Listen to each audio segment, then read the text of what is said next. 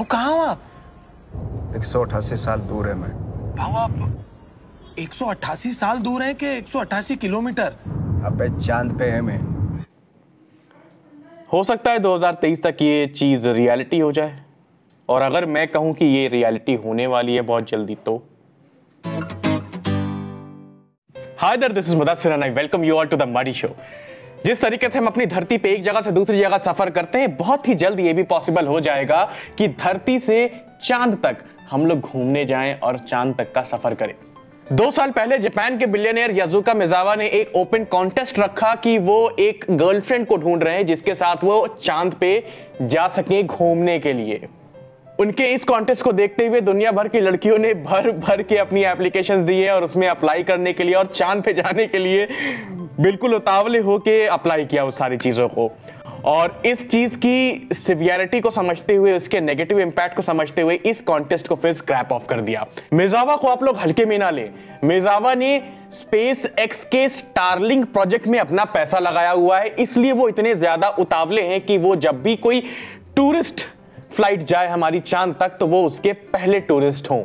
मिजावा के इस dear moon project में उनके साथ छह से आठ और अलग आर्टिस्ट भी जाएँगे। छह से आठ अलग आर्टिस्ट को ले जाने का मेन मोटिव यह है सो दैट जब वो लाइफ की पहली स्पेस फ़्लाइट ले रहे होंगे, या फिर कहें तो इस वर्ल्ड की पहली टूरिस्ट फ़्लाइट ले रहे होंगे अर्थ से चाँद तक के लिए तो वो उस पूरे के पूरे सफ़र को एक बहुत ही क्रिएटिव एंगल से हम ह्यूमंस के लिए रिप्रेजेंट कर सके सो so दैट हम उसको एंजॉय एंड चेरिश कर सके। मिजावा के इस डियर मून प्रोजेक्ट को देखते हुए सर एलॉन मस्क ने फरवरी 2020 मतलब इसी साल के फरवरी में एक फोटोग्राफ भी ट्वीट करी कि एक आर्टिस्ट का रिप्रेजेंटेशन कैसा हो सकता है अपनी पहली टूरिस्ट फ़्लाइट का। 30 मई 2020 को वर्ल्ड में पहली बार कोई प्राइवेटली फंडेड स्पेस एजेंसी ने स्पेस में एस्ट्रोनॉट्स को भेजा। उस कंपनी का नाम था, बिल्कुल सही समझा आपने स्पेस एक्स और जिस व्हीकल में वो लोग गए थे, उस व्हीकल का नाम था क्रू ड्रैगन तो इस क्रू ड्रैगन की सफलता के बाद स्पेसिक्स के बाद वो सारे के सारे डेटा आ चुके हैं जिनकी वो ज़रूरत की कि आगे आने वाले मिशन में जब टूरिस्ट को हम लोग स्पेस फ़्लाइट के लिए या फिर मून विज़िट करने के लिए भेजेंगे तो उनको किस तरीके की स्पेस सूट चाहिए होगा?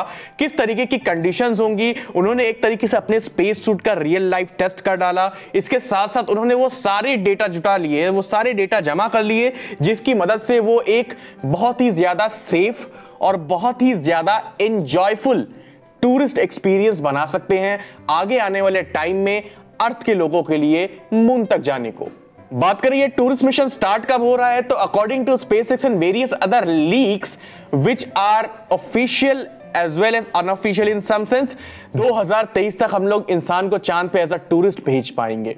तो 2023 तक का वेट करते हैं। देखते हैं कि इंसान पहली बार जब यहाँ पे जाएगा तो क्या होगा उसके साथ एंड वो किस तरीके से बिहेव करेगा। और ये टूरिस्ट फ़्लाइट का खर्चा कितना आने वाला है, ये भी आने वाले टाइम में हम लोगों को बता दिया जाएगा। तो आज की वीडियो में बस इतना ही। वीडियो पसंद है चैनल को सब्सक्राइब, वीडियो को लाइक करना ना भूले। अगर आप तो अगर आपने Facebook Instagram Twitter and link को मेरे फॉलो नहीं किया हुआ है तो उसका लिंक आपको नीचे डिस्क्रिप्शन बॉक्स में मिल जाएगा। और और अगर आपने अभी तक मेरे टेलीग्राम के ग्रुप को ज्वाइन नहीं किया है तो उसका भी लिंक आपको नीचे डिस्क्रिप्शन बॉक्स में मिल जाएगा। वहाँ जाकर ज्वाइन कर सकते हैं। वहाँ पे रोज कोई ना कोई नई और इंटरेस्टिंग बातों के ऊपर चर्चा होती रहती है।